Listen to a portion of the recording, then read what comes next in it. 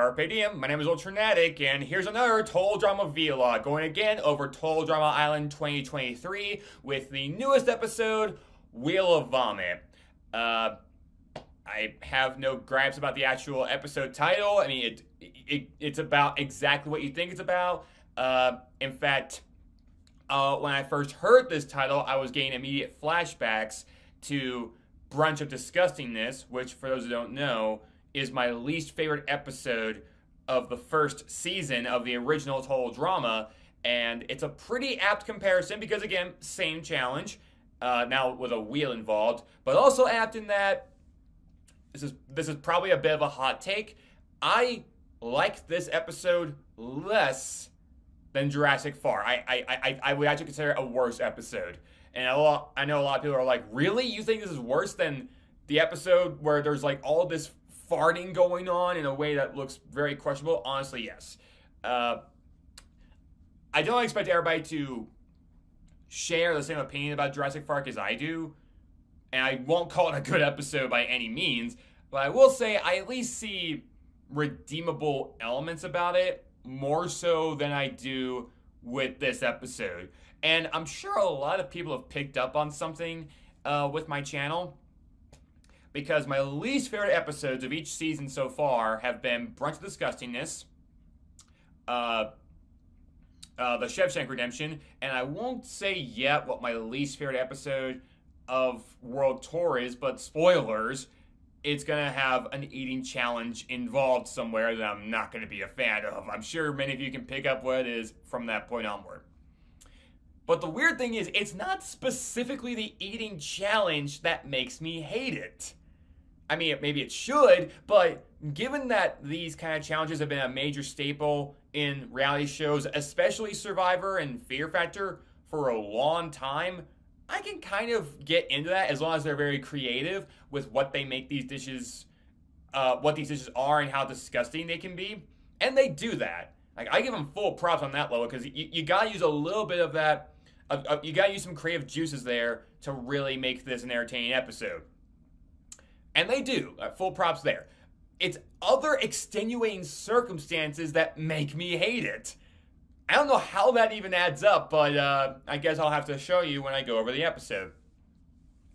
Uh, we see uh, Chase celebrating in the dining room about him and Emma getting back together, which surprises Ripper and Z.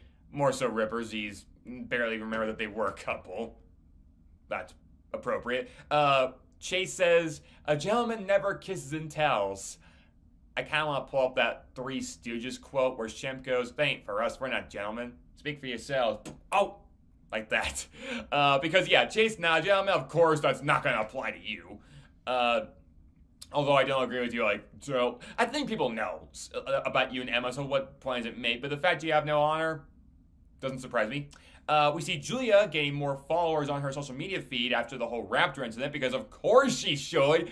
You verbally took down a raptor. That should get you more followers. How'd you lose? A, how you lost so many? I have no clue. Uh, we see Bowie in the girls' cabin. Not the first guy being in the girls' cabin. I mean, gay, so I I know he's not doing anything like there with that, so that's fine. Uh, we see in confession that Julie says she's never had more more followers than that, which uh, supposedly is true because she claimed previously to have lost 300,000 followers before, and if you look in the episode, it says that she now has over 3 million. That is, in fact, massive upgrade.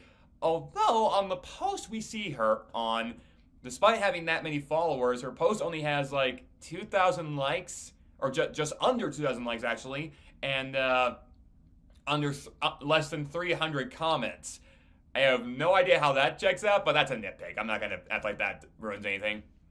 Uh, Bowie gets up and uh, puts on his shoes, only to find that Raj left him a present, his mouth guard.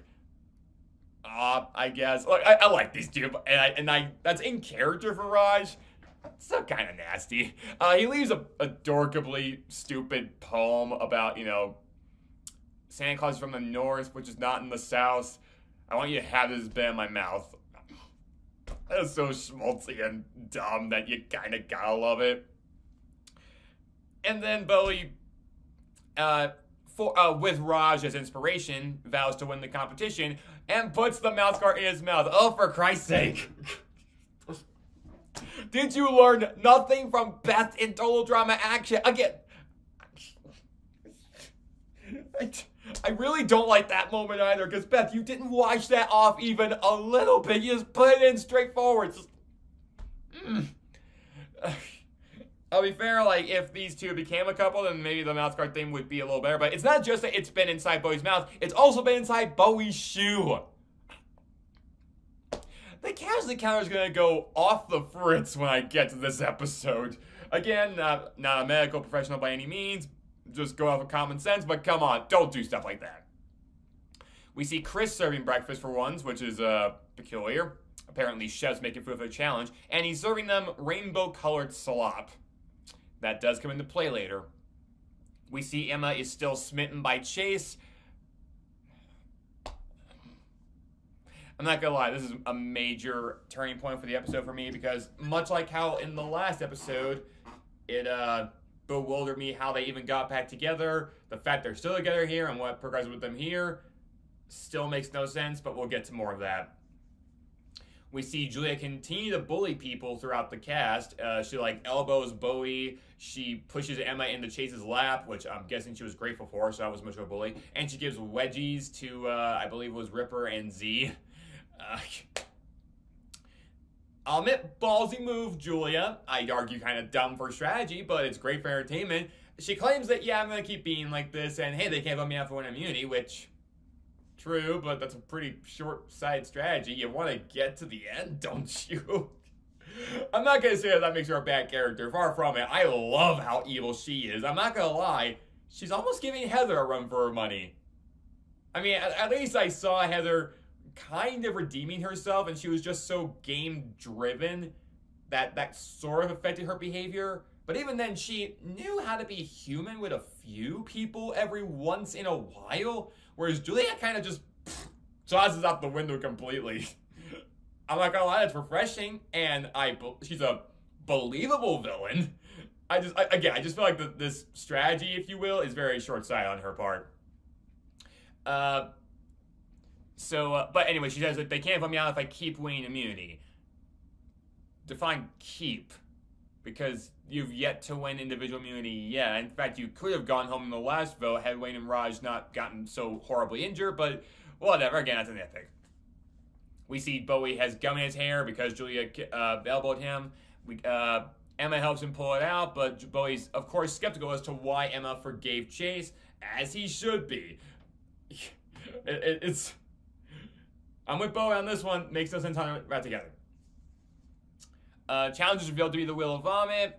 I don't think I need to really reveal what why it's called that. The characters are all given goggles, which Chase is confused as to why they have goggles on, and Julia's like, because it's the Wheel of Vomit, you doorknob. You see, maybe I'd be more against Julia being a horrible villain, maybe akin to Amy from Pahkitew Island, if she didn't actually have memorable parts to her being a bully. But she does.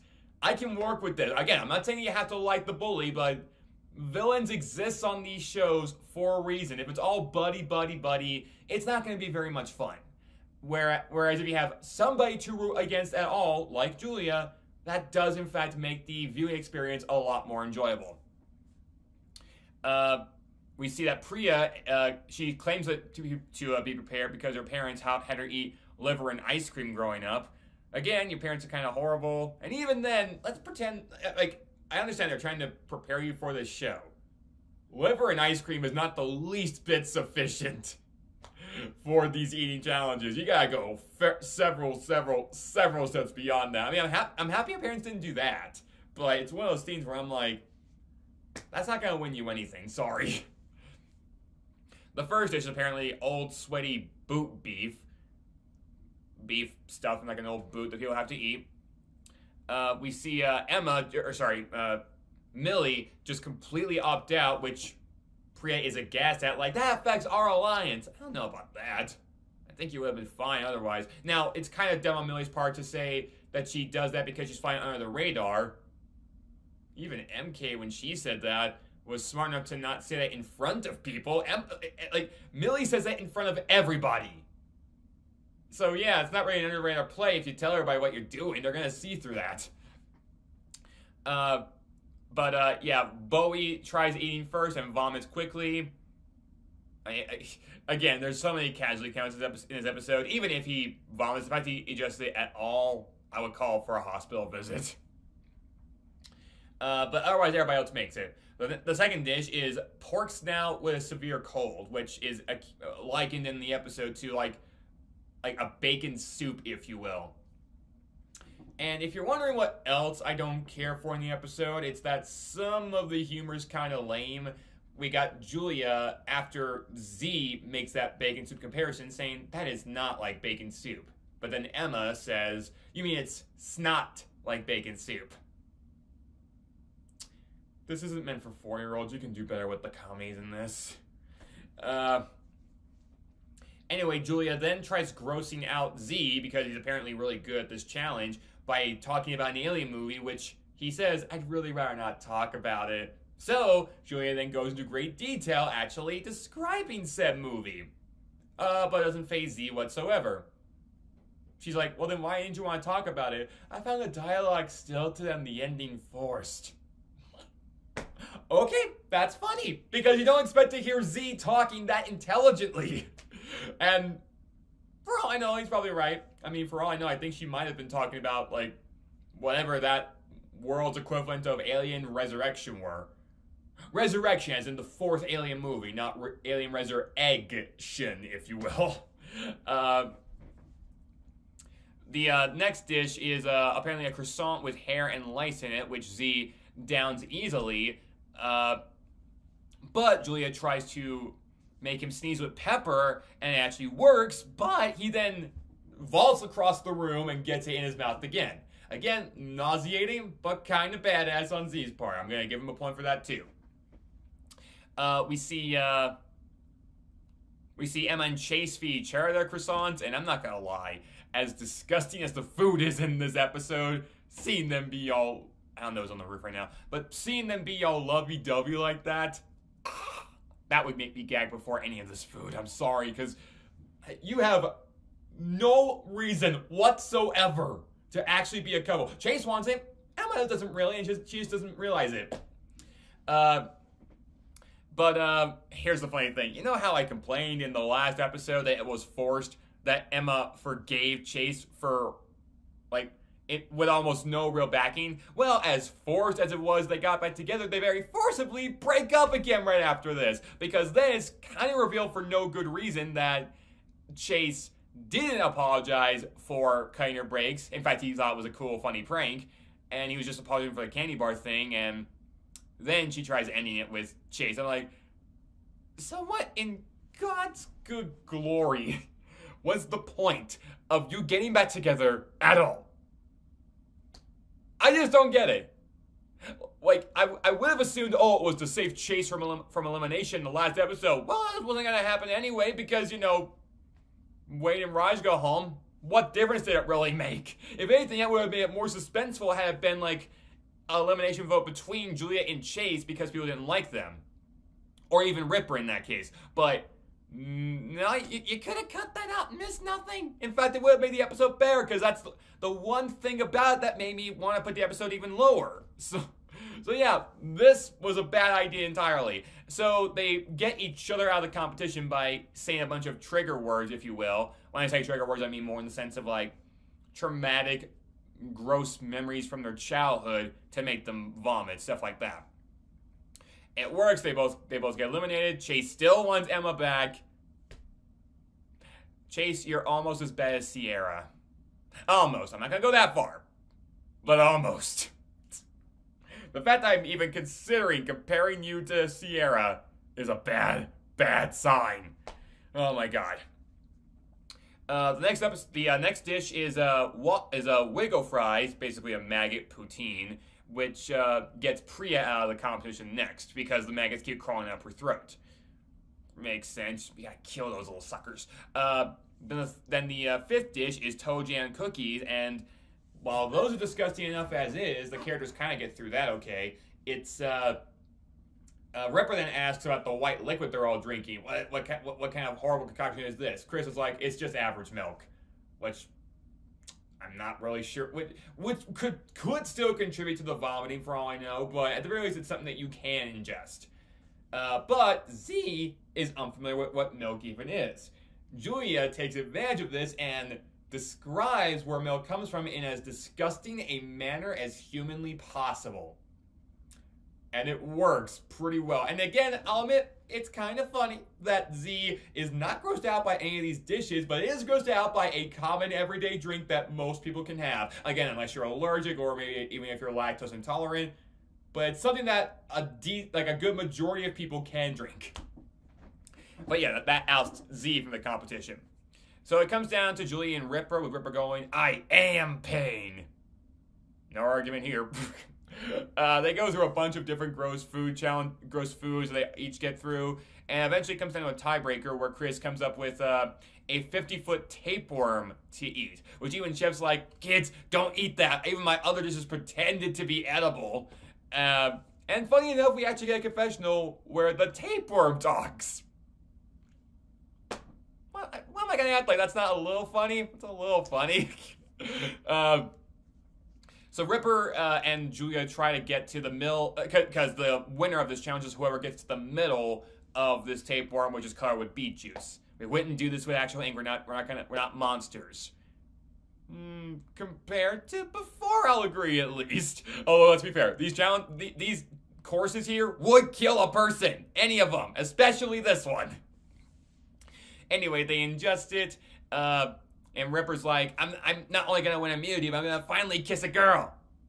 Which I've done before, of course. Again, not gonna like the episode's totally wasted because that's a pretty funny moment there.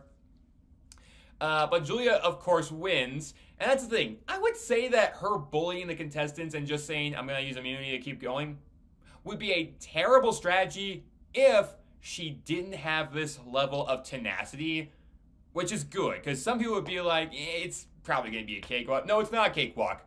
But she backs up her talk, and I do respect that about Julia. Of course, it results in Ripper losing and, you know, beginning to throw up the rest of the, uh, the rest of what he had inside of him, and everybody else vomits too. The challenge was just, you know, whoever can eat the tapeworm first. But let's assume for a second that the vomit rule still took effect. Ripper does vomit before Julia, so either way, this works out. So good on the show for that. But yeah, everybody vomits that rainbow colored vomit, and that's the thing. I would say I appreciate the diversity in the color palette with the rainbow colored vomit here, because it was all just like putrid green and a little bit of brown in there, and orange and before them. But here it's a little more varied. But I don't know. When I saw the whole spew fest of vomit afterwards, it's it just wasn't really my thing to watch all of that happen.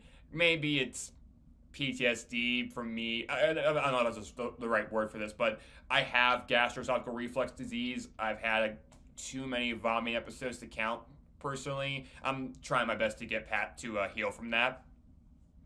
So maybe that didn't really sit with me. Thankfully, I'm not triggered by other people vomiting. So that's a good that's good on my part. Anyway, uh, in the end, it's Ripper who does go home. And while I'm happy for that, since uh, between him and Chase, I'm not sure which character I like less, but at least I know you're supposed to hate Ripper. But here's the funny thing the ending kind of drags this down again because I'm not entirely sure how Ripper goes home. It's kind of like when Geoff goes home in uh, Tri-Armed Triathlon. I'm like, okay, even with the contestants uh, explaining their votes, it actually makes a lot of the other votes unexpl- inexplicable.